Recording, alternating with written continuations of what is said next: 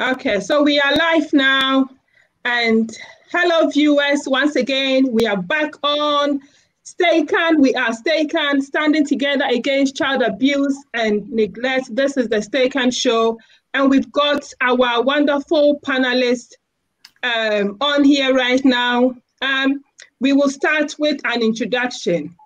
So um, is it okay, William, to introduce yourself, please?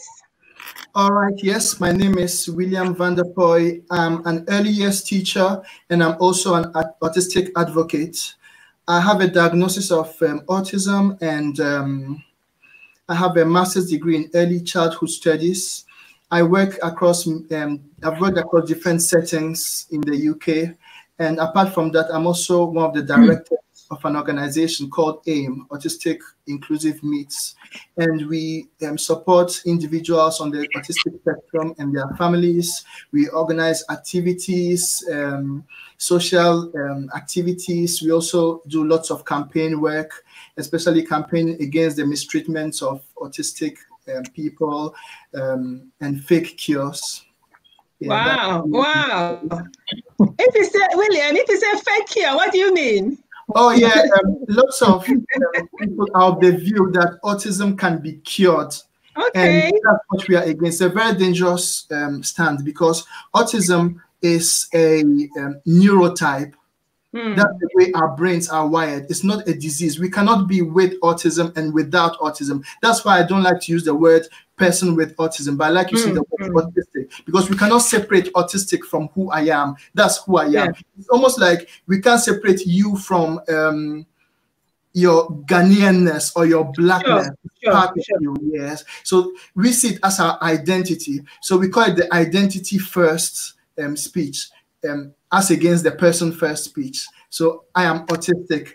And um, people believe that autism can be cured, and they use lots of things to um, try to cure the individual from autism. And this can be quite dangerous, even sometimes fatal. Recently, um, there was this organization that have been trying to sell bleach as a cure for autism. And uh, wow. uh, yes, and it's quite dangerous. The outcome is um, bowel lining coming out of um, mm. people. It's, it's really um, wow, wow, wow. And Thank you. Yeah. So many places, even in Ghana, it's gotten there. And that thing is called Miracle uh, Mineral Solution. Oh, okay. Yeah, so we've tried to campaign up against it, and it's now a criminal offense to be selling and administrating that drug, administering that drug.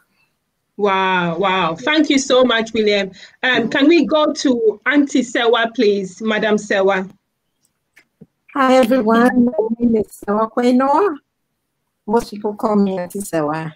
And um, I'm a parent and an autistic advocate. My son is 38 years old, and um, I've been living in Ghana for the past 20, well, I moved to Ghana 22 years ago. But in the meantime, I was in the United States for many years when my son was diagnosed at the age of two. So it's been a very long journey. And basically, that's me. I've been to many conferences and run um, many trainings and whatnot in Ghana. And I've also done some training. I, that's why I met Remy. Mm, yes. and doing some autism, autism training. And um, yes. that's basically over the years I've volunteered in my son's school when nobody really knew much about autism and uh, we were refer- referred to as the cold mother syndrome. You, you know about that. And so it's been a very challenging journey. But I'm here trying to help other children in Ghana and across Africa and also the diaspora. So wow. Wow, we can see, you know, you are doing such an amazing, um, you know, work in Ghana, and it just, it's just, you know, the the selflessness, the zeal, you know, the desire to you know impact life is just amazing. Yeah. Um, so can we come to Juliet, please? Yes, my name is Juliet Lardy. Um, I am. Oh, I reside in the state of Texas. Um, in the United States. I am a general ed teacher. I've been teaching for about 10 years. I've taught um, pre-K through 12th grade and also adults, but my main focus is in elementary. Um, as a general ed teacher, I teach students generally, so all subjects, and then I have students that may have uh, that have autism that are um, into my classroom. So we do like an inclusion type based thing. So I am their their main teacher, and then I have a resource teacher that goes into support.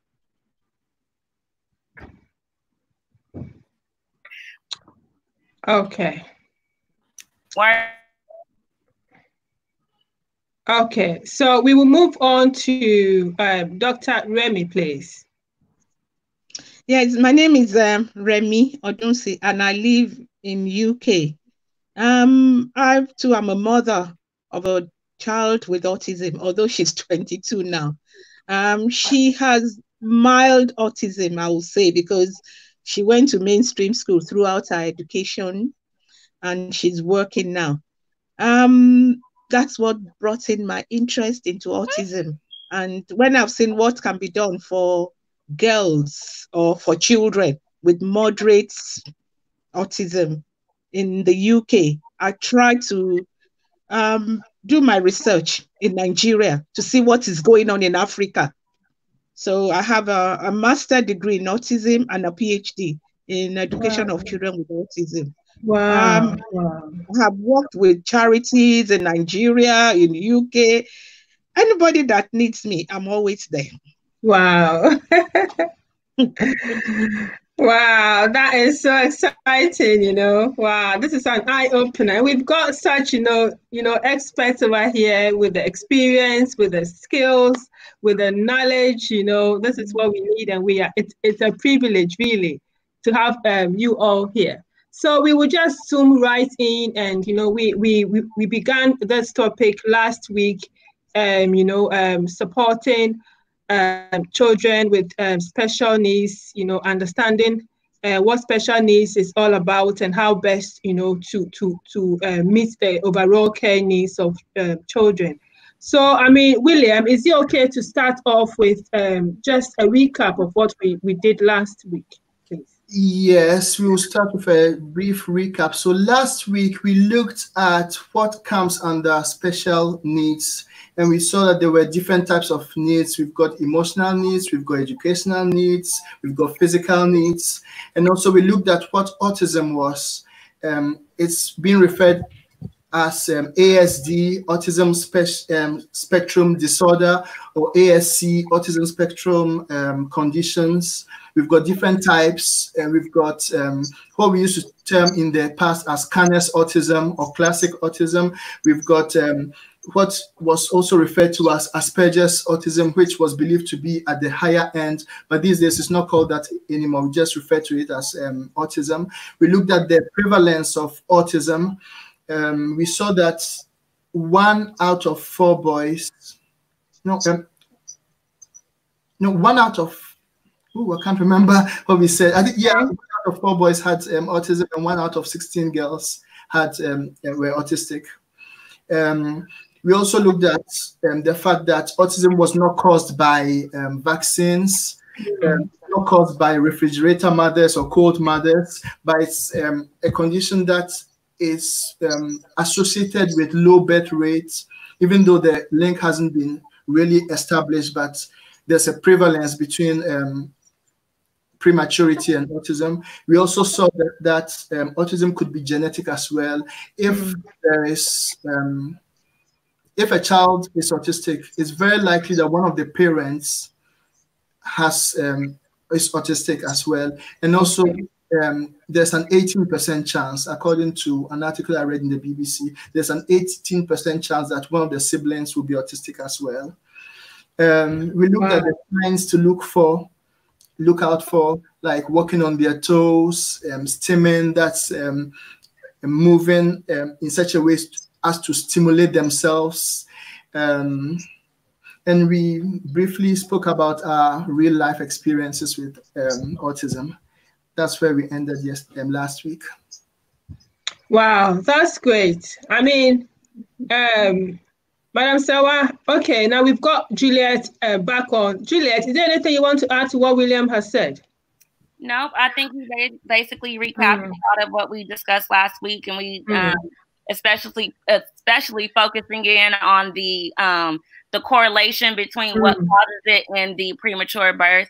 I think mm. something that we mm. really went in depth with last week, just because I can't remember the exact comment, but um, they were asking us about um, the mother and the things that the mother did and you know things of that nature but it was mm. more you know, correlated even though they had mm. discovery mm. there more correlated with the low birth weight not anything necessarily that has to do with the mother and what she does and doesn't do okay thank you so much so i want us to move straight uh, right in you know and last time you know some viewers came back to me and wanted to know more about the characteristics or you know, the signs that somebody, you know, has got or, or, or is uh, likely to, you know, be on the autistic uh, spectrum. So we, would go into it again, just for the benefit of our viewers. Um, and then again, I want us to also look at, you know, the impairments, you know, or, or you know, we know that the condition, or I mean, the condition of, you know, uh, uh, autism uh, spectrum disorder, it I mean it presents a number of difficulties for the child. I want us to you know talk about that a bit more, and I think that that will link also in well with the you know the signs or the characteristics to look out for. So what are some of the difficulties?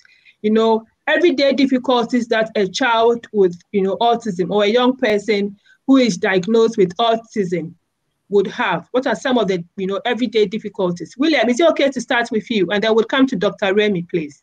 Okay. Um, I think I've got a little document I would like to um, share on my screen. Is it okay? Okay. If I share yeah, let's see. um, I'll see if I can do it by here. Or do you want us to move on to? Uh, no, I've done it. Okay. Done it. Can you see my screen? No, we can't see anything. Oh, okay. No worries. Um, I'll just talk you through. So um, I'll use what we call the triad of impairments to okay. um, explain this. So the triad of impairment are the three main characteristics or criteria upon which a diagnosis is based. So the first um, impairment would be social interaction an autistic child struggles with social interaction. Mm. And examples of this would be um, they might appear not to pay attention to others, they might appear aloof or distant or uninterested, being alone and withdrawn. Um, they might lack the social skills, inappropriate social behavior. Um, they might lack understanding about friendships or strangers, difficulties in making and sustaining friendships, and also difficulty in maintaining two way conversation. Or sometimes they might even interrupt you when you are speaking. Mm. Um, next one is social communication. With social communication, they might not fully understand the meaning of common gestures and facial expressions or tone of voice. For example, if you are upset, they will not know that you are upset by your facial expression or by the tone of your voice. Um, they might have unusual patterns of verbal communication and unusual prosody, um, like a drone-like sound without no um, ups and downs in um, surprise. For example, I, for example, um, I work in a nursery, and if um, a child comes to me with a drawing, someone will say, Oh, that's beautiful. I'll be like, Oh, that's beautiful. I'll forget to put in that act because mm. natural. yeah. Another one is echolalia. They might repeat what a person has said. Uh, for example, if you say, hello, how are you? They also say, hello, how are you? There are two types of echolalia. The first one, they will just repeat it and leave it there. Others will, will say what you've said and answer the question. And um, that is more closely related to scripted speech. Now, um, okay. autistic people might use um, movies that they've listened to or books that they've read or quotations from other things to compensate for their lack of um, social or conversation um, impromptu skills. Um, you might find them reciting large passages of um, a script from a movie or something um, in response to something that you say. So as far as they're concerned, they're making conversation with you, even though you might find it a bit strange. So they're making up. And also, um, autistic people have got the gift of making up words. Okay. This language doesn't have, or whatever language we speak, doesn't have enough vocabulary to express what we really feel. One person coined up a word. He said, "confuzzled." A mixture of confused and puzzled. Confused. Okay, wow. what they want to say. Some of them might have difficulty with the word I or you. Instead of saying I'm going to bed, they'll say you are going to bed because that's the way you talk to him so, so they're also repeating it back to you. Um, there might be a lack of facial expressions and lack of gestures as well, and unusual eye contact. So that falls under social communication. Then we've got um, the third one that's social imagination or repetitive and obsessive interests. With that and that, we've got difficulty in understanding how others think or react. And to illustrate that, I could use something called the Sally and Anne test. So I've got some tools okay. to help me to um, act this out. So this is Sally. Okay. This is wow, yeah. this is so nice. Yeah, so this is Sally. Ooh, is and this is Anne. So um, Sally has got a basket, a green basket. Okay. And yeah. Anne has got a box. Okay. Now Sally has a ball. Can you see the ball? Yes, yes. she places the ball inside her basket and goes out for a walk. While she's outside, Anne takes the ball from the basket and puts it inside her box. Sally returns. Where is mm-hmm. Sally going to look for the ball? Now, most people understand that Sally does not have the information that we have and the information that Anne has, that the ball has traveled from the basket into the ball. So most people will say that she is going to look straight inside the basket where she last placed it. Yeah? Mm-hmm. An autistic child is more likely to say that Sally would go straight into the box and pick her ball. Why? Because they know that it's in the box and they cannot differentiate between Sally's mind and their own mind. They believe that whatever they are thinking, everybody is thinking the same. So wow. this is called mind blindness, the inability to know that someone's thoughts are different from your thoughts. And wow, thank you. Yeah. Thank you, William, for the illustration. It's so good. It's so practical, you know. Thank you for that. Yeah. Thank you. You're welcome. It reminds me um, when I was a little boy in France, we went to a pharmacy to purchase something, but the man didn't have change. The pharmacist didn't have change. So they, they asked us to go and come back with the change. So they gave us the item. When we got home, my mother gave me the change to come back to the pharmacy and um, give the money to the pharmacist. When I got there, I think about um, 20, 30 minutes later, I failed to understand that the pharmacist has seen so many people that she had forgotten about me. So I just walked to the man and just dropped the coin in front of him. And for the next five minutes, we just stood looking at each other. I was expecting him to say, Oh, thank you. And I'll say, You're welcome. The thank you never came. So I couldn't say that you're welcome. That was my script. So we looked at each other until he said, Okay, so what's it? Are you going to speak? And I said, Oh, yeah, um, we came to pay earlier on, but you don't have change. So I was he said, "Oh, okay, you should have said so." That's an example of not being able to um, imagine that someone doesn't have the information that I have. It's called wow. and that alone leads to something called problems with imagination. Difficulty in developing imaginative play. We can't really imagine scenarios, putting ourselves into someone else's shoes to act a, a, a play. Um, that's why you see many children playing inappropriately with toys, lining them up. For example, I've got a little pony over here. I'll line it up instead of playing with it like, oh, hello, how are you? I'm fine. I'm going to the market. That kind of thing. No, they'll line it up and other things like because that's the way they interact with it. Another problem that an autistic person might have is having a literal understanding of language. Literal understanding okay. of language. By this, I mean having difficulties with expressions like it's raining cats and dogs or pull your sleeves up because that's exactly what they're going to do. Last week, I gave an example of someone I told, uh, an autistic boy, I told, hey, sometimes come and say hello to me. And every time he used to come into my office and say hello to me. Yeah. Um, issue was um, once in the nursery, um, there was this child who was presenting um, um, traits of autism, but he wasn't diagnosed yet. And um, one of the practitioners said, go to the toilet and go and wash your hands. Everybody understands that because the sink what's in the toilet actually and everybody goes to wash their hands there. The child went she actually went inside the toilet bowl and washed his hands. Luckily another practitioner just walked in and saw him and pulled him off. Yeah because um, people you know, like the autistic spectrum are quite um, literal and they are very trusting. They trust in everything that you say. At least most of them not all of them but most of them. So it's um, something you um, that's worth thinking about when you are given instructions to an autistic person. Also problems with predicting events or actions. When i'm reading a book for example i'm quite shocked at the outcome of people's um, actions because i take people at face value it's hard for me to believe that someone would do this thing because I wouldn't do that. The fact that I wouldn't do that means that you will also not do that. So it's um, one of the things. It's quite crucial because um, as a vulnerable person, you might end up falling into the wrong hands mm-hmm. and trusting the wrong people's. There's also apparent obsession with parts of objects. You see children who are obsessed with um, parts of hoovers or parts of washing machines mm-hmm. because um, many people on the autistic spectrum see not the big picture but parts of it and they mm-hmm. focus on it. They have narrow interests. They have set routines as well. Um, if the routine is broken um, they might appear quite distressed. And finally um, they might exhibit some vocal stimming. Stimming is when they um, do some actions to regulate themselves.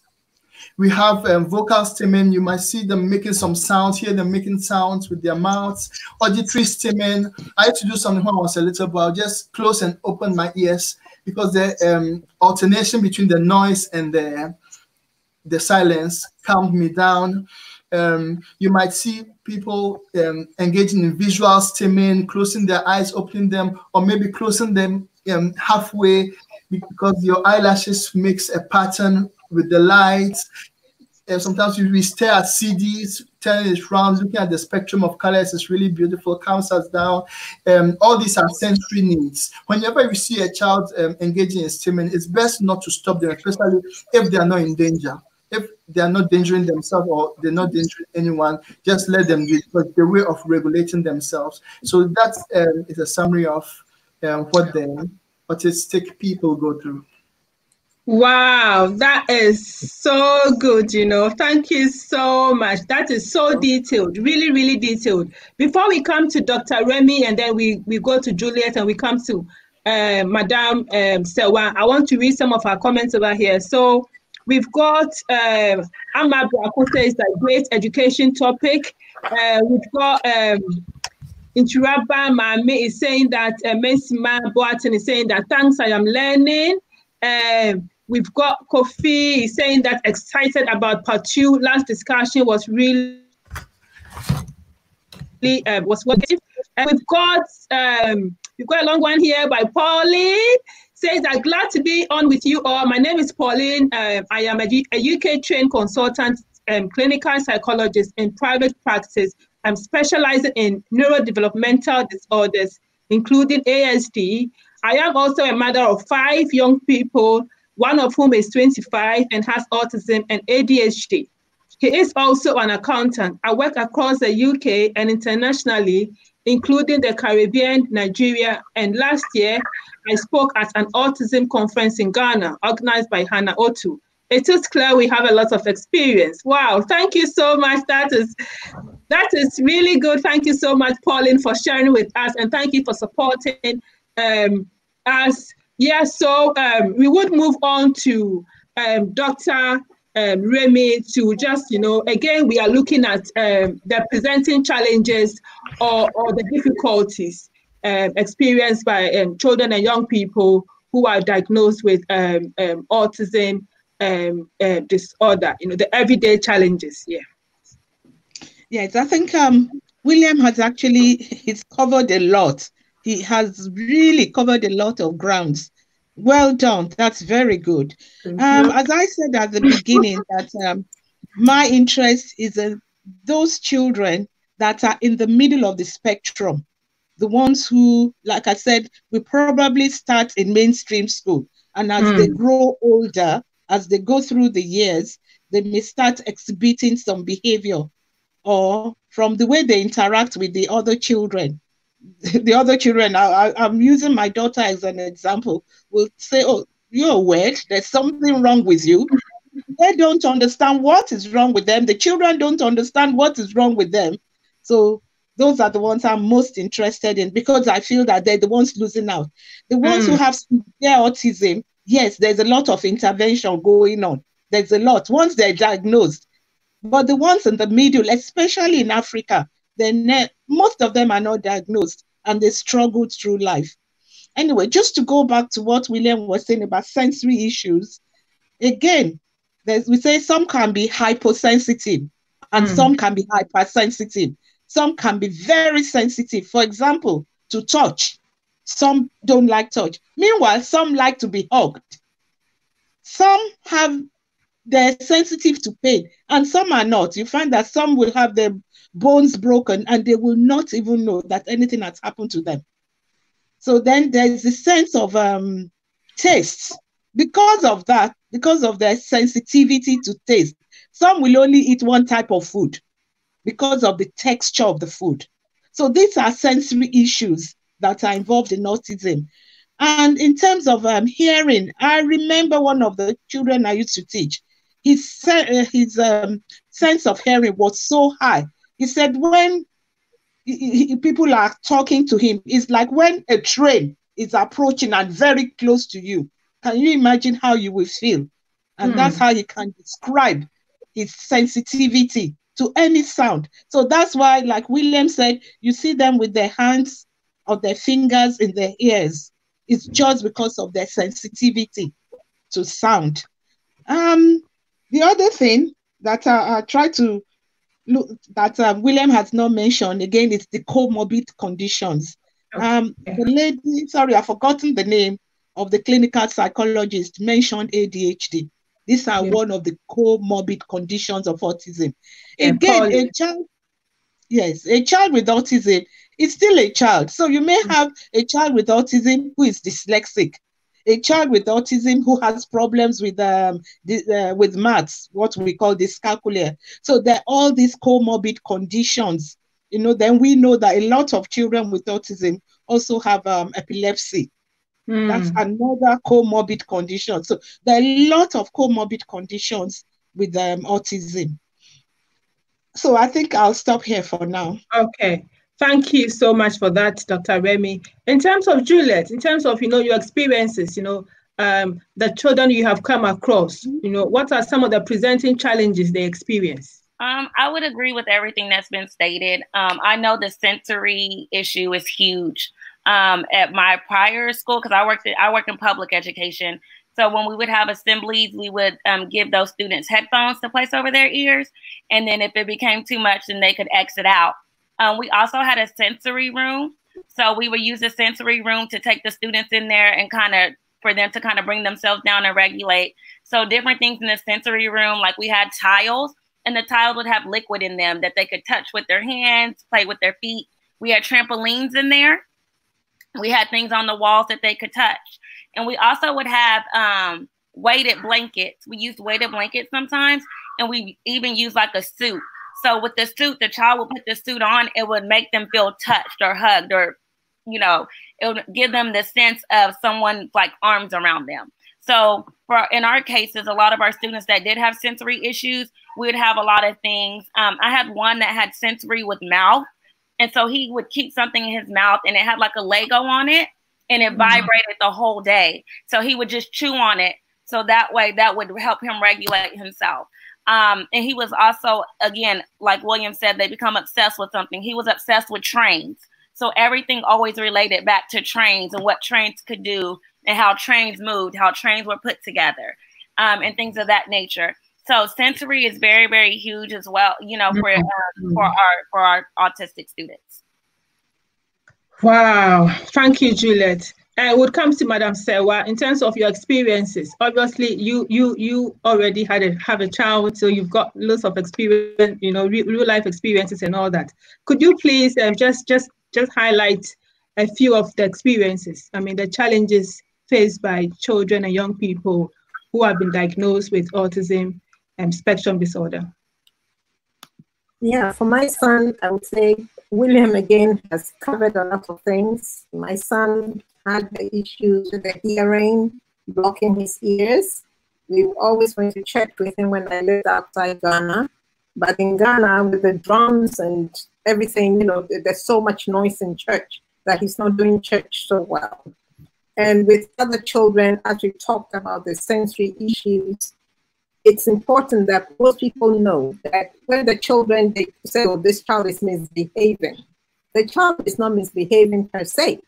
The child has sensory challenges, and if you cannot talk with the children who are nonverbal and they have the sensory difficulties, this is why they want you to know if you see a particular behavior, and this is what I see with the children with the different behaviors, they are trying to tell you something. So we tell them that communication is the key. You have to try and get to the place where the child is.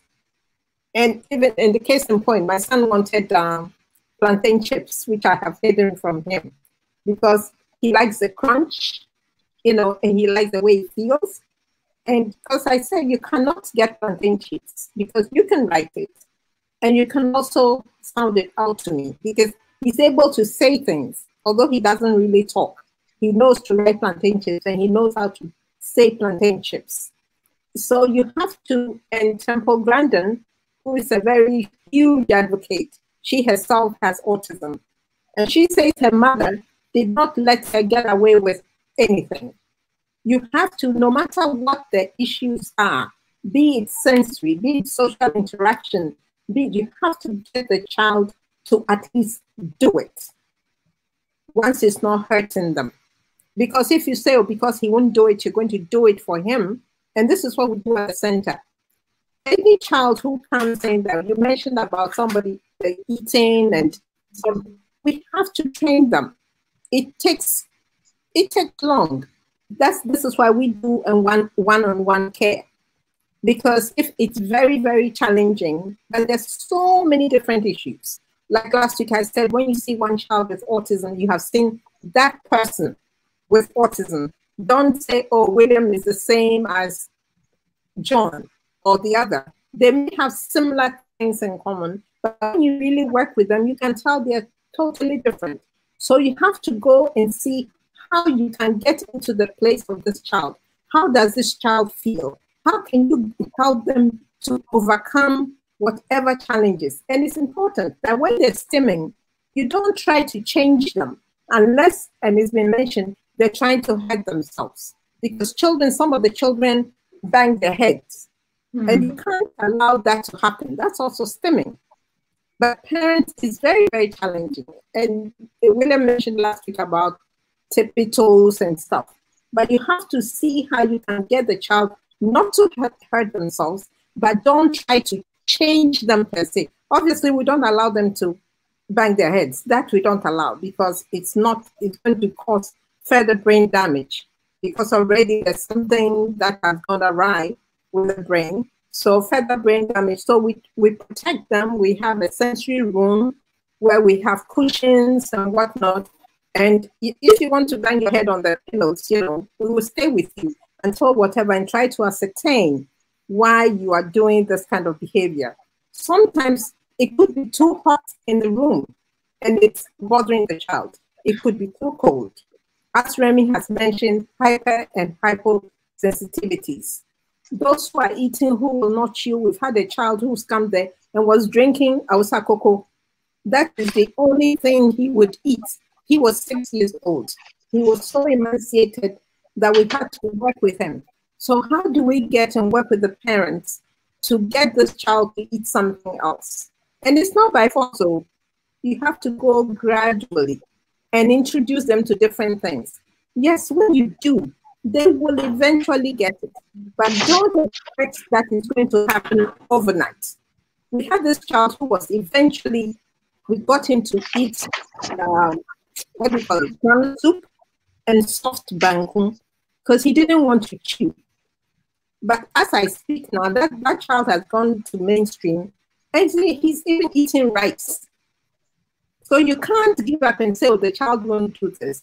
And we have to really do a lot of parent training to their parents to help them understand why all the different things are happening, especially with the sensory issues. Parents cannot stand it. They cannot stand the stimming. They could stop it. Oh, it's annoying you. Oh, too, too bad for you. He is feeling pretty good doing what he's doing, flapping the hands and doing it. It's, you know, but slowly they, with, when they have this test come, it's like they think it's embarrassing. What's embarrassing about that? And slowly you and you, you try to tell, we have a child like that, and we say, oh, when you see visitors, if as much as possible that you want to, or maybe can think of a song that you're singing and also trying to flap it, and get the child in and try to see how you can get into the autistic person's condition, how to try and understand them, not as wanting to change them. William, am I right?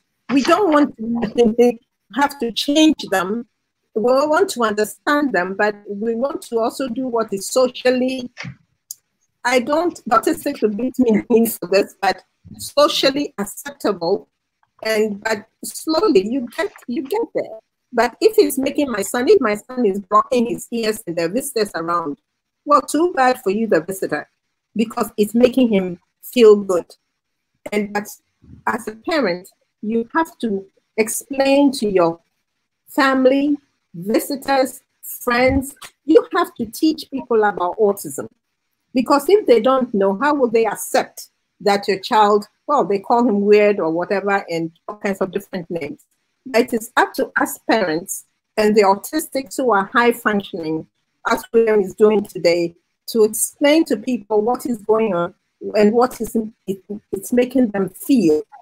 Because if we don't let people know that, oh, this is what is happening, we have a child at the center who I bet can even hear the, the sound from the phone wire.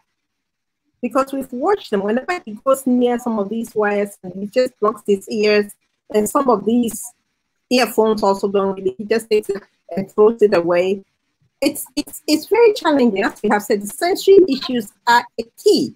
So I believe that whenever we have training for any child that we're trying, we need all disciplines, not just one particular discipline. So what I tell people, we have an eclectic type of program. When you come to the center, you have to be willing to work with us don't come and say, we have a lot of specialists who come through our, our center. Don't come with an attitude and tell me, oh, this is the only one that works and it is it is uh, been proven and blah blah blah. Okay, it's been proven. To, to, that's the, what the statistics say and what they're saying. But this particular child is not responding. So the practitioners have to see the child and really try to understand. And like I said, it's about communication. Mm. How are you communicating with this child? The child cannot talk, are you using text? Are you using pictures, taking photographs from their home? Every child from their home should have pictures of their parents, pictures of their siblings, pictures of what they do at home, so you can work with them so they have a familiarization of what's going on. But sometimes if we just go to the text and just go to the state figures and whatnot, like it is, it is not the real thing for them. If you're talking to a child about their mom or their dad, have their picture. Don't have a, a text picture to show them. I personally believe anything that you can make look real, make it look real. I'm not a speech therapist. Mm. I'm not, I'm a mom. And I know what has worked with my son and what has worked with so many other children over the years. Yes, we use PECS, we use ABA, we culturally approved adapted with ABA. We don't use the ABA that we're training children to be like like a dog trainer, as um, as um, William said last week. But ABA for some children, it depends on how it is done. It, it works because when you have a child banging the head and banging the head, you need to get the child to stop because you cannot sit down and watch the child hurt themselves. But I would like to talk to William later about that how you get the behaviors to, you know, that will hurt them. We need to get it to stop. So it's important that parents listening to me out there in Africa, in the diaspora, Ghana, wherever, you need to go and get parent training. You need to be trained. You need to understand what is going on with your child and read and read and read as much as you can. Unfortunately, for us in Ghana and across Africa, there are people who haven't gone to school and they cannot read. So we have to help them understand in the local languages and then have the pictures in local languages, which we are going to get to, and let them know this is why we're doing this. During this COVID time, we have been visiting some homes. Uh, for those of you from, in, uh, from Ghana, um, like Nima, we have children in Nima, Mamobi, and these are really depressed areas. Mm. They're very challenging areas. We've been going to their homes, and if you can imagine if you are living in um, a compound house, and you can't get a child to even get a corner to, you know, work and do their work. So they leave the child in front of TV all day, or if they are lucky to have a phone, and they're constantly on the phone. So what we have been doing is visiting these parents and taking them some bubbles, taking them some sensory toys, taking them uh, what they can use for speech. And we say, don't worry about speaking English. If you speak Hausa or Twi or whatever, we get some of our caregivers who speak these languages and we go with them to work with the parents and we try to go at least once a week to see how the children are doing. So it's very, very, very challenging, but we have to keep at it because we've already realized are quite a few of them regressing, which is so heartbreaking for me because there are children who have been college trained, who are going back on into uh, wearing diapers. It just breaks my heart because mm. when they come to a center and they are in diapers, we take the diapers off. If we're going to college train, there's no need for diapers. Diapers are expensive to begin with. So these are people, and usually the people who don't have money uh, doing wearing diapers. Where do you get money to afford diapers? So you come to school, you can come to school in a diaper so that you don't solve the whatever. But when you come to school, and then we teach you how to toilet train. This is why we don't call ourselves school because we do so many things. Teaching you how to brush your teeth, how to eat, how to bathe, how to do all these things. Every child at our center gets to learn how to brush their teeth. And I think uh, you can imagine with those of them who have issues and you have the bristles of the toothbrush, sometimes it feels like needles in their mouth. And they're screaming and whatever when we first start. But we have to because otherwise, research has found that there's so many children with autism who have bad dental, um, what is it? Why can't I think now? You know, they have cavities yeah. and they have difficult with uh, hygiene. Dental hygiene, yeah. yeah. So this is the thing we have to work with, and every child has to brush their teeth. And you as a mother or father will also have to come in and learn how to do this. Because you can't just sit there and say, hey, Kofi won't brush his teeth. You can't live without brushing your teeth. You have to learn and do this. And we've seen so many children, or you see a child of uh, maybe I'll say a teenager who cannot take a bath, a leaves. What, what, what have you been doing? So we take time and we, if you, you're a man, the father, if there's a father in the house and it's a boy, you have to take a shower with your son and teach him how to bath. Because I mentioned Grandin again, her mother did a lot with her. And she did not take no for an answer. You're going to do it this way. And come on, lift your arm, and then you'll be teaching them. This is your right arm. This is your armpit. And using the signs, you know, the body parts. And every moment is a teachable moment that you talk to these children. Don't say because, oh, this child is non-verbal. Mm-hmm. And a lot of people don't even talk to them. They mm-hmm. just order them about mm-hmm. Go here, do this. Don't talk to them like you would talk to anybody else. And mm. you'll be amazed at the communication that will go on. And you can tell from their eyes and their happiness. And when I see a child that they like, they can do something, go, great job. And it's like we, we won the lottery. I feel like sometimes, you know, when somebody achieves something, I feel like I've won a huge amount of money. Yes, I need that to finish our center. But this is the thing you have to show the children that, oh, they have done some work, something, at least a climb trying, anytime they try, it means they've done something. You need to reward them with a clap, mm. jump, and dance, or whatever. You just make them feel good.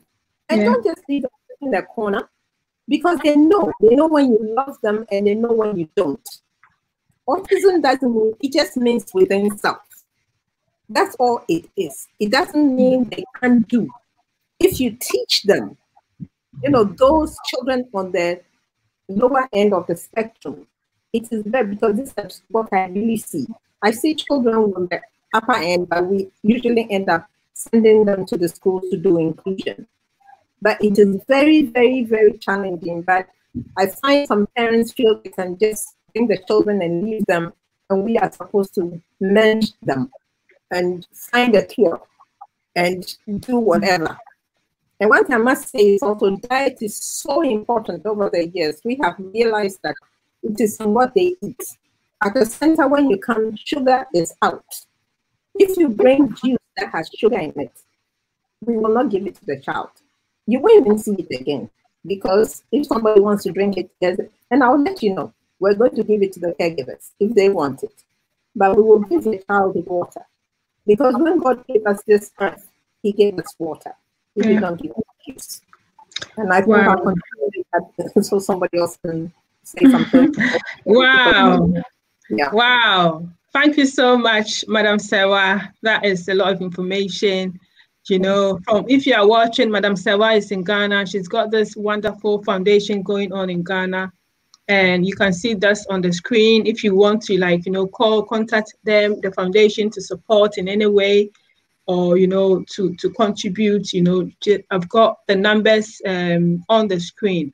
Yeah. So thank you. And like Madam Sewa said, you know, no no no two people are the same and you can't therefore say that you know this child has got asd and that child has got asd and therefore you know in terms of your approach you're going to use the approach a similar approach or the same approach for them because each child is unique each child is different and um, and then again talking about um, you know last time we last time we, we did um, mention about some that you know the challenging behaviors displayed by you know children with um, some children with ASD.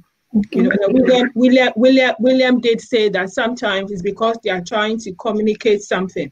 And then Madam Sewa is also saying that, you know, you know, a child may be feeling too hot in a particular room, and the child may be, you know, and obviously the child is feeling too hot. The child who is non-verbal, you know, would display certain behaviors to communicate to you that, you know, this room is so hot, or, or I am tired, or I want to do A, B, and C. In terms of communication, you know, what are some of the tools or how best can we communicate with children who are, you know, autistic and who are not non-verbal? What are some of the best ways, um, you know, to communicate? Uh, William, are we able to start with you? Yes, before I start, I would like to um, make a note or a disclaimer that the fact okay. that the child is non-verbal mm-hmm. does not mean that the child is unintelligent. Mm, so it's very easy for us to just say whatever we like in front of a child who is nonverbal and appears to be in their own world, not knowing that they understand every single thing that the child says. I know someone who is nonverbal. Uh, she's a friend of mine, nonverbal, and she's got so much bitterness against um, the parents because of all the things they've said against her while she was growing and she remembers every single thing. And now she's not verbal, she doesn't speak, but you know what? Um, she finds it hard even to hold down a job. She has challenging behavior. She's been sectioned many times. She's always been arrested by the police to take to the mental hospital, blah, blah, blah. But you know what? She's also got um, a degree in um, pharmacology. So that proves that wow. Verbal wow. communication is not a definite um, thing. It's not something to judge a child on.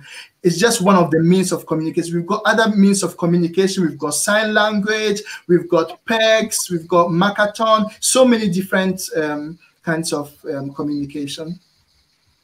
Wow! Wow! Thank you so much. Um, in terms of communication and your experience, Juliet, is it okay? Okay, Madam Sewa wants to say something, and I would come to Juliet. Yeah. Uh, with the communication, what we said, you know, like the sign language, the text, the um, and I said about taking photos, and use communication as a tool to when you're in the like you go outside with a child, I don't really particularly like just to have a book that you communicate with. Like use the leaves to teach a color green. Look at the sky and you teach things around you, things within your environment. It's very, very, very important. Because if we're just using different, like, oh, using our Legos and blah, blah, blah, know, with autistic children, this is when you ask him what is green, he's going to look for a, a Lego, a green Lego, and, and tell you this is green. But you, when you're working with leaves, we get dried leaves and we get fresh leaves, and dried leaves are brown. And even we have what we call the flamboyant uh, tree in Ghana. It has these beautiful flowers, but it has these seeds. The seeds are, it's like a pot. And then we use the seeds and the stalk is brown. So we use the seeds also, the, the, the whole pod for music therapy because and, uh, I see, uh, you know, and it's it's amazing. And then we take the seeds out, I can use them for counting, use things in, in the environment so that the children will also see this. Don't just keep them boxed up, you know, for communication. Use things within your environment. And when you're at home with them, also talk to them. Like they're very intelligent. Let them know what's going on. I posted, uh, my son was busy doing gardening just last week. I think some of you may have seen it. And he's planting some okra and he keeps saying green okra, green okra. And I'm like, enough, okay, I know it's green. Okay, but he's in the garden because he loves okra stew.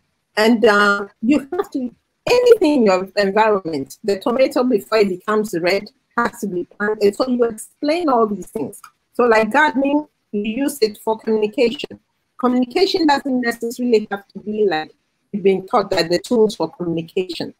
But as our children grow, they learn because they happen to be able to speak. And but with these children, we have to make an effort to teach them everything.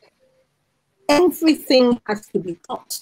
And if you're going, oh, the car, you're going around, maybe going for a walk, you use the opportunity to, okay, let's see who finds the red car first and then you're, you're doing color red a week.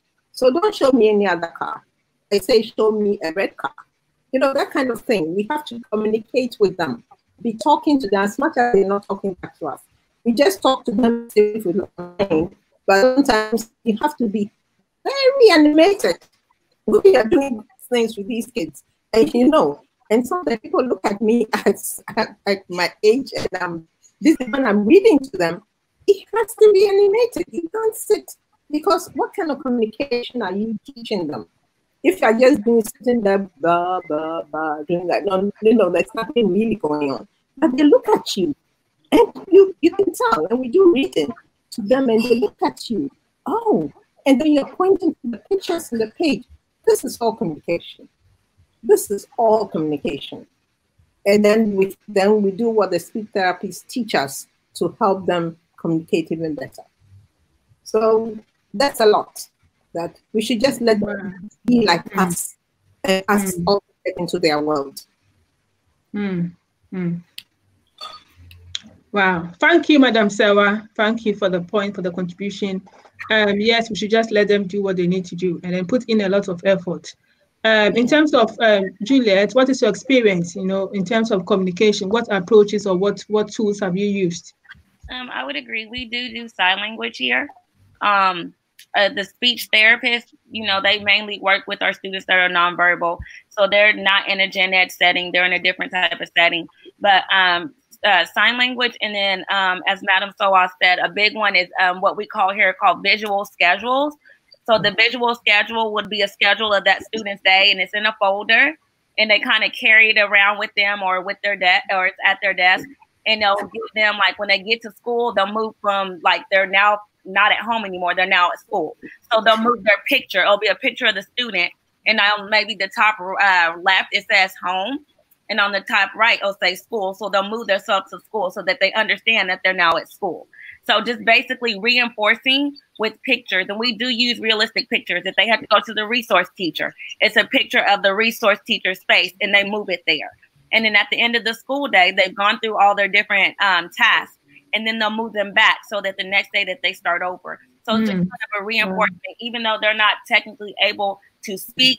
And that's what we have to get to is just because they don't speak does not mean that they don't understand. That is a very strong disconnect there that I think a lot of people think when it comes to nonverbal students that because they don't respond back, it means that they're not understanding, and that's not the case. So this basically reinforcing what we're saying and also being very mindful of what we're saying when we're speaking um, to students. Because again, even though they cannot respond back to us verbally, it does not mean that they have not processed what we have said verbally. So being very just conscientious of what we're saying and what we're putting in those students' um, minds and, and, you know, making sure that we're building them up and building their self-esteem and realizing, yeah, I, I'm just like, even though I have, you know, I'm a student, you know, that has autism, I'm not different than my classmates in that sense making sure that we're building up. Because I'm as we're going through this, I was looking at this is kind of off real quick. I know you're going to get here, but it was a um a comment from Paul asking should an autistic child be treated differently. And I read that and I was like, oh, no, we treat I treat all students the same because it's about the person. We're teaching them how to be people in a realistic society. No, we don't treat them the same. Everybody gets the same treatment but some of us just may need a little extra help. So that's how I look at it. Yeah, thank you. And um, Dr. Remy, do you want to add anything to the discussion in terms of, um, you know, how to communicate with um, nonverbal uh, children with ASD? Um, I don't really have anything. I think everything has been covered, really. Mm-hmm. But the only thing is, um, I'm a math teacher. I'm a trained math teacher. And I've always said maths is very abstract. So, mm. All the things that I use to teach my students who have special needs, they're the things that you use for children with autism. They're visual learners. And so when you make things visual, concrete, they learn. So I, I agree with everything that has been said. The only thing I need to add, which is not about how uh, about this to the characteristic is from my own daughter, anxiety is something we we, we, we left out. Children with autism, especially the ones that are still in the middle, they're always very anxious because they don't like change. And so when it comes to change, they're very, very anxious. I mean, for my daughter, if you're going to a new place that she has never been before, you can see that the anxiety will be so much that she can become sick. So, or when people say, oh, that child is stubborn, and I say, no, no, that child is not stubborn. That's autism. They don't like change. Can I just stop there? wow. wow, that is such an interesting discussion. Now let us just look at some of the comments over here.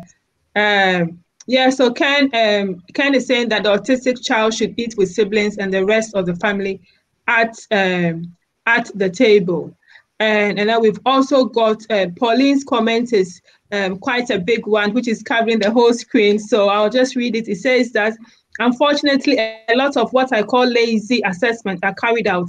Once a diagnosis of ASD has been reached, the assessments for many ends.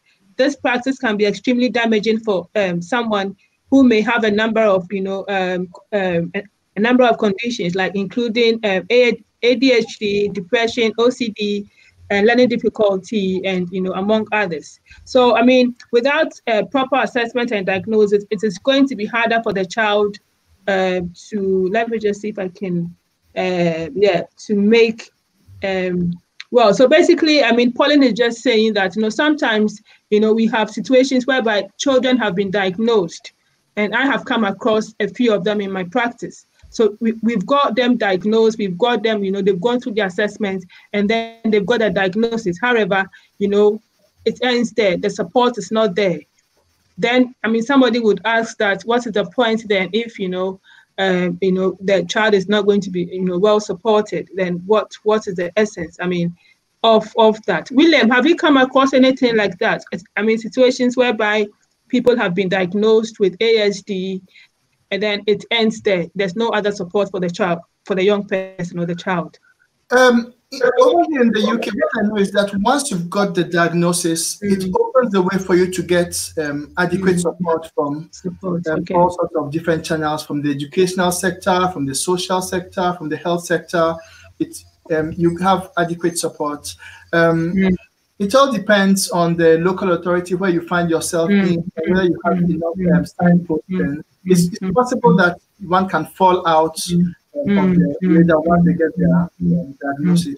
In such yeah. cases, the individual to keep pursuing, mm. let others know about their keep needs. Pushing. Yeah, keep yeah, pushing. Keep pushing. Yeah, yeah. Uh, Dr. Remy, can we come to you? Have you had any experiences, you know, situations whereby we've got um, children diagnosed of ASD, but then it, I mean, it ends up ending there, kind of. There's no other support. Yes, that, I mean, I mean, it depends on where you live. In in the UK, I would say that yes, there is support, but again, it depends on the school, the parents. The parents have to push. They mm. have to push.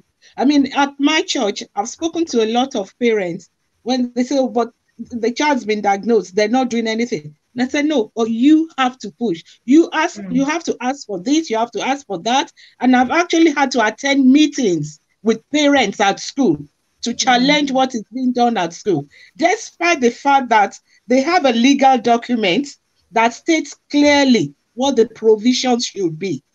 They still have to fight for it because really, the uh, in in the UK, most of the interventions for children with autism, it's tied to NHS. And we all know that NHS is spread very thinly.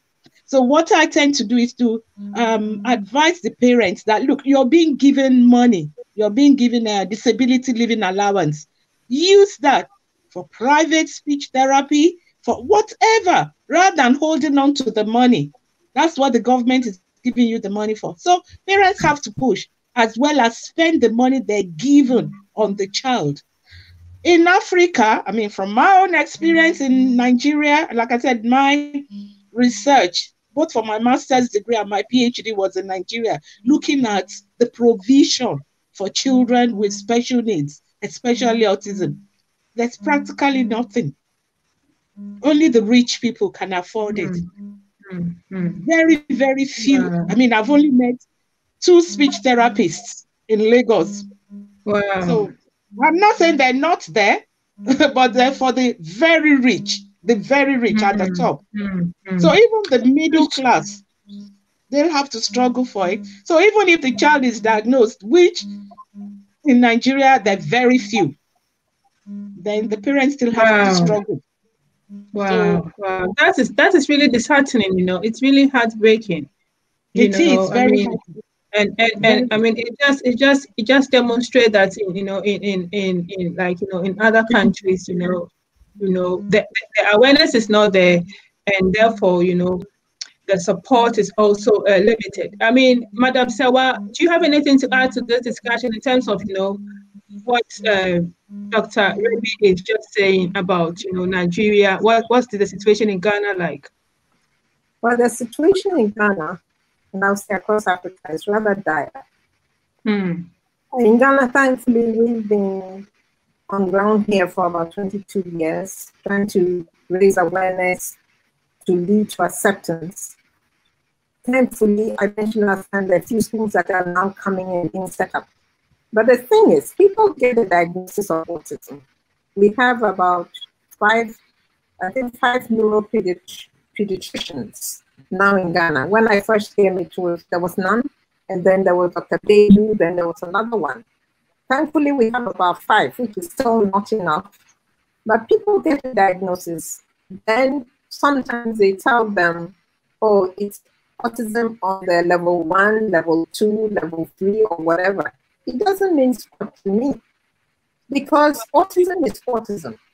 The person needs early intervention from day one. So some people are given the false sense of security, I will say, that, oh, your child is not so bad. But what is really bad about autism? So they are told that, oh, go to regular school without any support. There's no support teacher, and you put the child in a classroom of about maybe 20 kids. So therefore, this child is left to be roaming or doing whatever, they can't handle the child because maybe the child has difficulty sitting down, maybe attending, or different things. So it's important that the, the child who goes to regular school to for inclusive an inclusive setting, it has a, a facilitator who has been trained to work with this child with autism or other special needs. Because if you expect a teacher like Juliet to be working with uh, your child and giving the attention and teaching them the way we can sit down and you know, really take time with the child. Let's say the child cannot eat. And who should be doing feeding the child or seeing to these needs? Mm-hmm. So in Ghana, it's very difficult. Most people they don't want, I call it the A word, you see, they think it's such a bad word. So they prefer to go to regular school because if they come to a center like ours or other places, oh, you're mixing with those children, as they say. What do you mean, those children? Your child also has autism or Down syndrome or cerebral palsy or other developmental disability. It's important that parents get trained. When they, anyone who's hearing this, when you get a diagnosis in Ghana, Nigeria, Kenya, Rwanda, wherever, please see how because as far as I know, there are people within the cities who have started schools and support services so that you can find some help. If somebody can help you train a facilitator to go to a learning support person, to go to the regular school with, with the child. Because I believe that a child who is in the middle or higher functioning really belongs in regular school. Even the children who are low functioning, it belongs to regular school. But nobody really do anything with them if they go to regular school in Ghana. They will let them run around, and the children who are verbal, sometimes the teachers they send them, go fetch this, go bring this, go do this. They teach them nothing. So the situation is similar in most African countries because mm. I know Ghana, we don't have government support per se. Mm. The government has schools, the government schools. But they have special education teachers that they have. Unfortunately, they don't really have expertise in autism. Mm. They not learn how to work with children with autism. And I tell that that's something that people would have have difficulty with me, but I'm sorry. My son has autism, and I will tell you if you know mm. you're not doing the right thing, you need to be told. Thankfully, what we've been doing is we've been working with certain schools and the GS, we've been training some teachers and doing inclusive education. You know, we call it inclusive education model where we train them. To, this is how you work, you work with these children. And then in the, the center also, we have one classroom where the, te- eh, the children are doing quite well and we feel can go to regular school. We train them how to raise your hand in class. And when the teacher is speaking, you cannot also talk. And, you know, different things. And we really teach them everything, all the steps, how you play with other children, and how you really, you know, how for them to socially interact. We're not sending them for academics per se. We're sending them there for friendships, you know, so they know how to interact with other mm. children. Mm. Thankfully, doing this for the past five years, and the schools around us, they do not even charge us a penny for this, which is amazing. And it's been working so well so that some of the children and then end up going to regular school, and the parents understand that I go to the school with a facilitator who has been trained in basic autism. Wow. If to regular school without a facilitator, by the time they get to 10 years and above, we find them sending them back to us or the different autism centers because they just been walking around school because they say, oh, I've been doing inclusion what I've learned, and you look at them, they can't even write their name. I mean, mm. why? So the schools and they keep saying, "Oh, we know about autism." They want the money. They charge them. Some of them charge them double the fee. This is what's going on on the ground. Like Mary said, people who have money, who can afford it, can get the different services and things. But why must you charge my son double the money when you really don't have the services to provide them? Because mm-hmm. it's still a special education teacher here who is doing really nothing with the child. And this is what we're finding that those who did not really seek us out early and went to regular school are now coming back. Mm. Three children who came back at 10 and they're like, oh, we went to, we did inclusion, but can barely write your name. And they're still running around all the time. So now you have to really go and train them how to sit, how to, you know, you know, just be, you, you allow them to be autistic, but they know their rules. Autistics know their rules, right? For them, they will do what they have because they know you care about them. And when they come like that, it's a one-on-one. You have your um, facilitator with you. And if you want to go for a walk, because we don't really sit in the classroom and say, oh, you must, you must write, or you must do math, or you must, we know because of the sensory issues, if a child is having difficulty, we can always do our work outside. It's not the basic like the classroom where you must sit here. Oh, but you will do your work. Yeah. If you are acting up and we go under the tree to sit, you will do your work and complete it because that's the business about. And it's all yeah. like William said, yeah. they're very smart and they look at it and they say, Oh, okay, I can't get away with this, so I might as well just do it. And that's mm-hmm.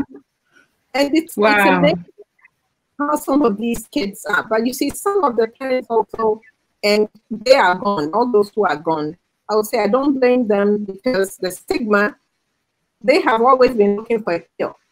So after they've been at the center or at another school for a year or two, and the child still has autism, they withdraw the child without telling you anything. And then they try another school and another school, not really good for the for the child. And this is what's going on. But now we have, as the different schools, we've gotten together to say, let us know where you have come from, where have you been, so we can check with the other schools so there's continuity of care. Mm, mm, mm,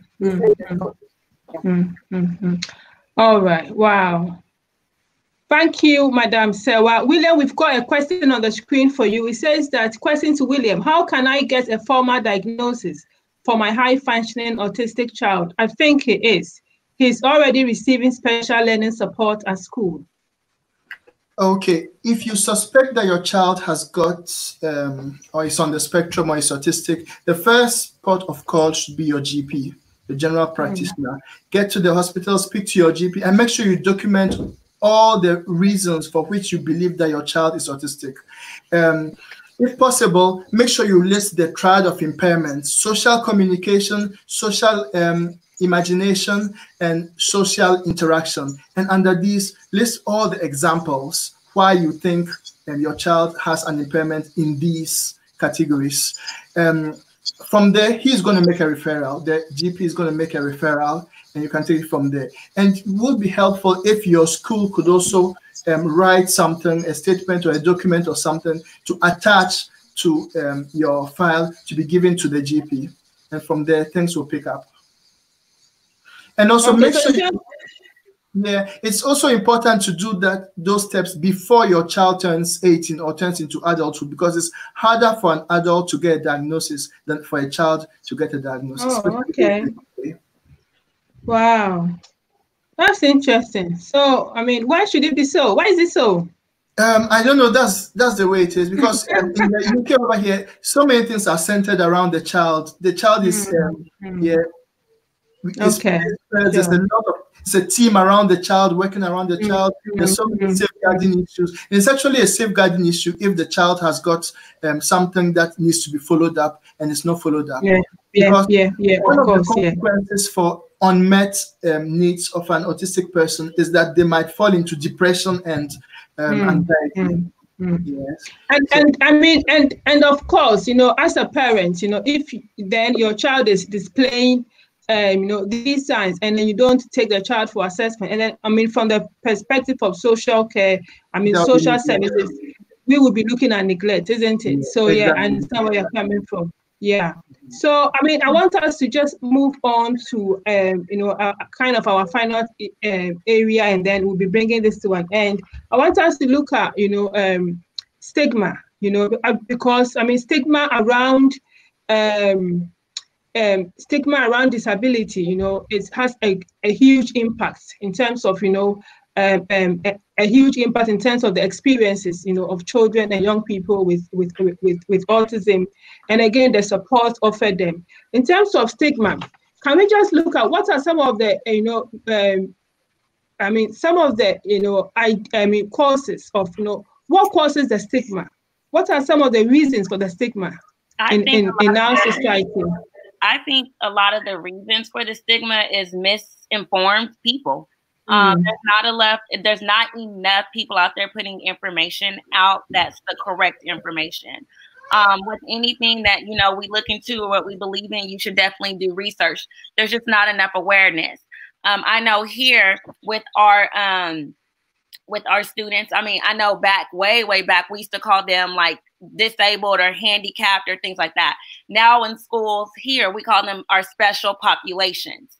And so a lot of what we do is so that the kids are not secluded, we include them. So I may have students that have needs in my classroom that are going to be there because it's a general ed classroom. But I may also have students that I enlisted as their general ed teacher, but they will be in another classroom. For example, I had a student that um, he was in a wheelchair. So he was in a class where they could better serve his needs because I'm a general ed teacher. So I couldn't be able to, and he has an assistant. So we have one-on-one assistants as well that assist with students. So he would be in there because they had what they were more equipped to serve him. They had changing tables. He had a one-on-one. So his one-on-one would then bring him to the general ed classroom when we were doing activities or when we were doing parties. So he's included with his peers. And as a teacher, I create an inclusive classroom so that kids know no matter what we look like or you know, physically, mentally, emotionally, we're all welcome here. So making sure that we are creating those environments where students know that everyone is welcome regardless of how they look. Um, also being able to, I know here, a big thing here in America, we have um, something I actually have on the shirt. I don't know if y'all can see it, but it's called the Buddy Walk. Oh, okay, I can see. My, my, daughter's friend has Down syndrome. So once a year, they organize a walk, and we go walk for the kids to raise money for Down syndrome awareness. We also have autism awareness here. Here, we place a lot of things so that those students are not exiled.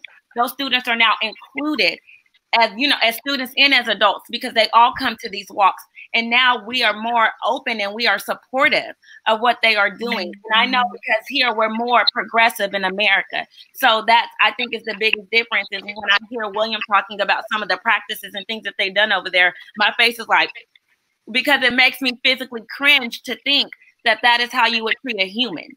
Um, so I think, you know, because here we're a little bit more progressive, it's about awareness and being an advocate. If you see something being done wrong, speak up. Don't become a part of the problem, but becoming part of the solution. I think is the biggest thing. Being and being aware, being educated. Mm. There's so mm. many things out there on the internet that are not true, but going and finding out the correct source and asking people, asking a question goes so further than what you could ever imagine on someone that is very skilled in knowledge in that area. So, you know, making sure that we're speaking up. And as, as parents, I'm not a parent, but I, I, I have, you know, nieces and nephews, and I speak to parents on the regular. Being an advocate for your child is the one single biggest gift that you can give to them. Never sit wow. and let someone tell you yeah. child can and cannot do because every child can do it.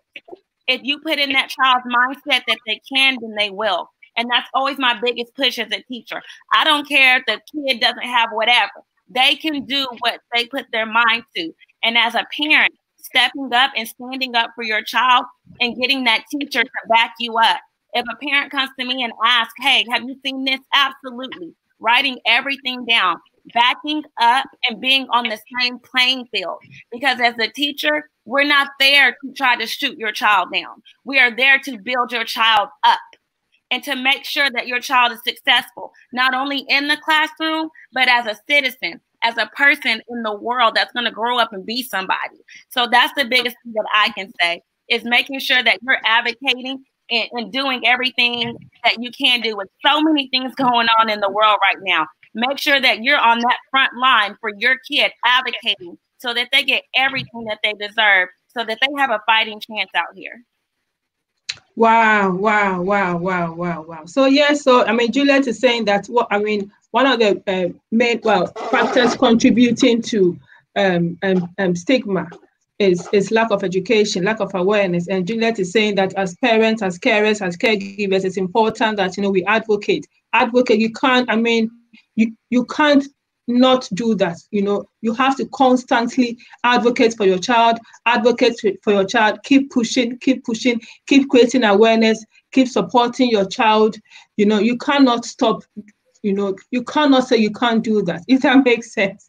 yeah. So we're looking at we're looking at stigma and the impact, you know, in terms of the impact and how, you know, stigma and how that impacts on on, on the child's experiences. You know, in terms of um in terms of, I'm just looking at in terms of you know um, you know other parts of the world, Ghana, Nigeria, and all that. You know, I I have heard some misconceptions. You know that you know disab- I mean these disabilities. I mean autism, for instance, learning disability, and all that. I, I have heard some um, you know misconceptions that you know they are caused by demons and spirits and evil spirits, and it's a punishment from the gods.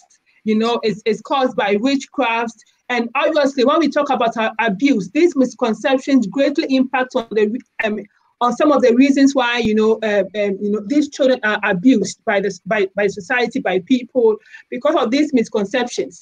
I mean, in terms of your experiences, Dr. Remy, you know, what are your experiences, or what have you heard, or what have you read around you know these misconceptions, you know, and which which which causes um, the stigma you know, things around, you know, witchcraft and demons and spirits and, you know, I mean, being the reason behind the disabilities. Yes, I quite agree with you. Because from my own um, research in Nigeria, I've met parents whose marriages broke up because the father will say, In my family, we don't have children like this. We've had parents who have not been able to you know, people, pa- parents who are traders, who people will not buy things from them because their children have disability. Wow. There, there's so many things. You know, when uh, I remember there was that um, documentary about witches in one part of Nigeria, children. And when I think about it, I said, these children may have autism. And the way they treated them even killed them. Oh I mean, it's very sad when you think about it. Yeah, it's, it's a cultural thing. I think the problem we have in most parts of Africa is we don't look at the scientific. We tend to look at the spiritual more than the scientific. So anything we cannot um, explain, we just think, oh, it, it is spiritual. That's why they come to demons or witches and everything. And it is very, very sad. I mean, just there's so much attached to it that I can't um, go into it. But one thing I know is that maybe with more awareness, with more knowledge, and as well as with inclusive education, where children who have disabilities are in the same school as children without, so that they grow up together. Unlike when I was young, when we don't see children with disabilities. But now that there's inclusive education, and even if it's just an inclusive unit within the school, the, the ones who are able can see the ones who are disabled and know that they're all the same. I think it will help. It's just right from when they're little. Education, education, education from when the children are little to let them know that you are all the same. You're all the same education education education what the child needs you know is support you know is support and in you know but then as a result of the misconceptions as a result of you know the lack of awareness lack of education and all that we end up you know assigning um, spiritual uh, spirits on evil spirits and you know um, witches and all that, curses and all that, as being the reasons for you know the child's um, condition. That is really, really, you know, that that is really sad and that is obviously you know abusive. Uh, yeah, Madam Sewa, do you have any anything to add to this, like this conversation in terms of uh, perspective um, from Ghana? Basically, what uh, said and everything else has been said, but our belief systems, anything that is not in the norm, quote unquote, it has to be, there's a reason behind it. And I would say that um, religious bodies, the churches, the mosques, and what have you, haven't done well. Because when you go to them, they don't really encourage, they're not encouraging. So what we have been doing, we've been doing a lot of church awareness because and we've gone to some mosques with uh, the Muslims uh, amongst us to go and talk to them about autism. Why autism is not a curse, why it is not witchcraft, why it's not something that somebody did. You can't blame it on anyone. So we need more awareness, which we've been, uh, we, we need more of it. But it's important also for parents to come to a level of acceptance. Because if they don't come to that level of acceptance, then people, they are fodder for everybody telling them anything, you know, that you did this or you did that because they have to accept it. So they become the frontline person, as Tina, uh, not Tina, Juliet had said, that you know you're the advocate. You're willing to fight for your child. For me, I am out there in front, willing to fight for not my son and other children. Anybody, I don't know how I became this advocate, but really, when you think of it, it's it's wrong it's wrong. Put yourself in that position that somebody coming to call you a witch or your child is cursed or this child is that. When we go and then this is where bullying comes in. Children who are higher functioning are bullied through school. They are called names, they, people are mean to them, and you will find that, in fact, in the end, a lot of people who end up incarcerated are persons on the autism spectrum or persons with other disabilities that people don't really understand them.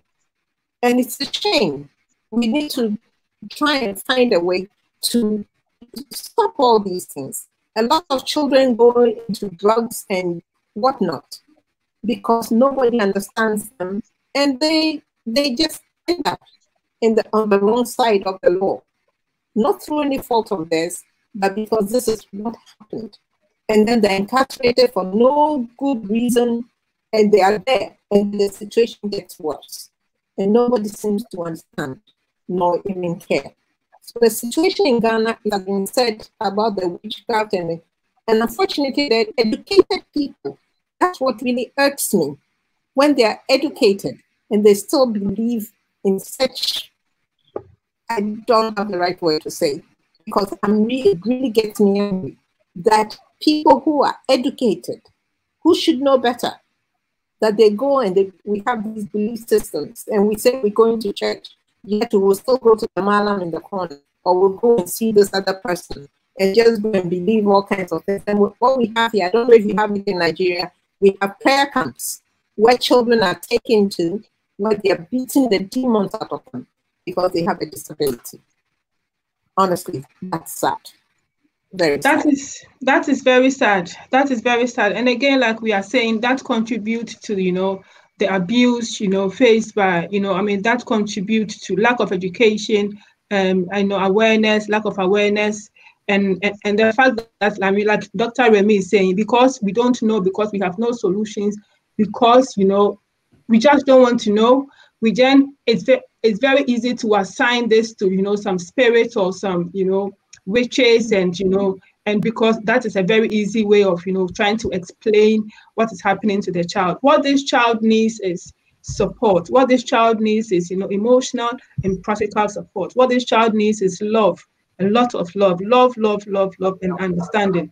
And again what this child needs is to be treated as a unique individual you know and not a child with problems and not a child who is cursed and not a child who is a difficult child and not a child who has to be locked up in a room because you know he or she is causing so much trouble and not not a child who has to be you know taken away somewhere away from the family and you know somewhere you know because the child because parents and caregivers can't you know don't can't meet the, the child's needs and don't understand the child's conditions because of lack of education, because of lack of awareness. We we are we bringing this one end now. So like we usually do, um, we will go round, you know, each person your final word to our viewers. Um, next time, you know, we would be talking about because we're looking at uh, we're looking at um, stigma you know, we will be looking at um, abuse because there's a lot of abuse going on, abuse of, you know, children and young people who have, you know, who are diagnosed with autism. And, you know, there's so much abuse going on. And like I said, what they need is lots of love and lots of care and lots of, you know, support. And but then, for, unfortunately, for, for, for some children, they are not getting this. So we would be talking about um, abuse. But then, yeah, going round, we know we want uh, uh, individual panel members, your final comments um, to our viewers before we finish today's show. Um, William, is it okay to start with you? What's your final comment for today's show? Um, my final comment for today's show is to plead with viewers to break the stigma of autism. There's so much stigma in the system because of the fear of the unknown, as our Auntie Sewa said. Um, we are scared because we don't see people um, like us in the media, especially in Africa. We don't see um, autistic people acting or being in the office or being at the forefront. So um, it's like we're almost like aliens. It's time for us to actually come out. Employers, please employ autistic people. We can do the job. We can be trained. We can um, contribute. We can make a, a, positive contribution to society. Yeah. So please sure. include us. That's it. Good point. Can we come to Madam Sewa, please? Yes, again, thank you, uh, thank you for this program and uh, and thank to the viewers. And um, I think I wish we had more time to talk about the stigma and what's been going on and how autistic have been suffering. And my comments, I know we've been talking about the child, the child, the child. The, the child with autism grows to be an adult with autism. Mm-hmm. In, in, in Ghana, I can see that we don't have much in Ghana. Thankfully, a lot of the children who work are with me are, become, are becoming adults. I have a couple of adults including my son, who now are able to go to, my son goes to work, that's data entry at one place, and that's finishing work at a printing press. So yes, he needs a job, somebody who really pay him. We have done this to prove to people that yes, he can. And we need people to see the work that they do and they're amazing workers. This is what I want to say. They are amazing, the best workers you can find around. And thank you to the viewers and uh, the children in Ghana and across Africa need a lot of support because we don't have the services really. We don't have everything without um, volunteers that we get internationally and locally. We wouldn't even be able to make it. So I want to take this opportunity, if they're listening, to say thank you to everyone and continue to support the work we do. Thank you. Thank you. Thank you. That's really good, helpful. Um, can we come to you, Juliet, please? Um, I, I just want to say thank you for having me on here. My experience is just a little bit different because I do gen ed education, but I also, you know, come in and, and support. Um, the biggest thing that I can say um, to, to for people to take away from this is at the end of the day, be kind. Um, mm. it, it takes nothing to be nice to someone. It takes nothing to show somebody that you care. Even a simple wave or a smile at someone can change their whole entire day. Um, I think we've got to become more aware um, of, of what's going on. We have to be the pioneers on the education side to, you know, to assist people in their quest to help mm-hmm. others. Um, education is so important and I will agree, even some of the most educated people say some of the stupidest things. So to be mindful and conscientious of what you're saying and what you're putting out there in the environment, um, for me is the biggest thing. And also be an advocate. Go out there, do the work, and support the movement. You know, one it takes one person to change something. So you could be that one person, like I said here. Like um, we do, we do a lot of walks we raise money, we do things to bring awareness. So you can be that one person that brings awareness to your community. And think about you're taking that to 10, 15 people in your community. They're taking that to another 10 and 15 people. Now you have a movement. And that's what it's about mm. creating awareness, making moves, and making a difference. Wow.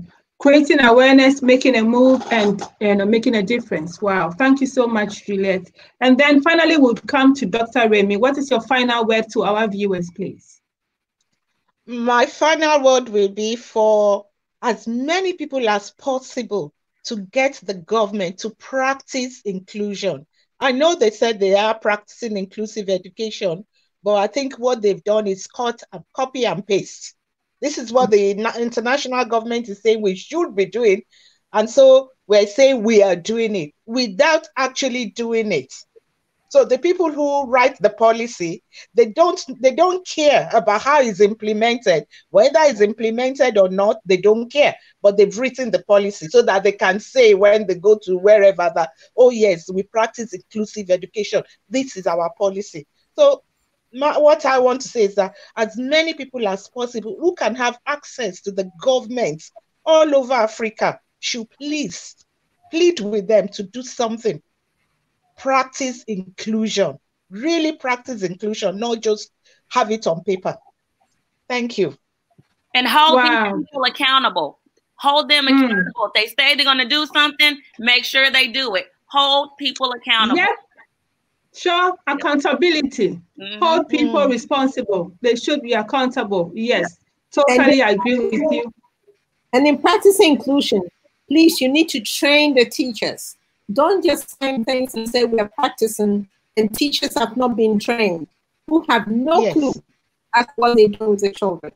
So please, you need trained teachers to know what they're doing. And the teachers who have gone to special, done special education and are not giving their best to the children, I'm sorry, you don't need to be teaching our children. Get another job.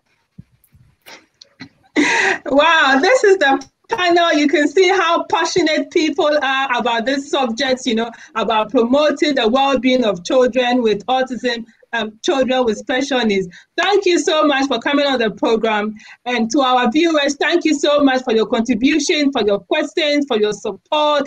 You know, let us, we are, we are all in this together. Let us educate, create awareness, you know, advocate, and together, you know, we are working together. We want to move forward together. We want to support children. We want to support people living with uh, autism, people living with, uh, uh, you know, special needs. You know, we are in this together. So thank you so much, and thank you, our viewers, for your knowledge, for your expertise, for the, you know, the skills you brought over here.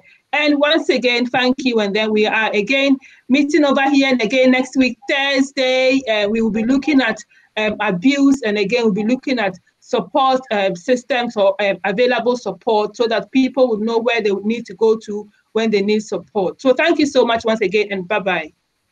Thank you. Bye. Bye, everyone. Bye.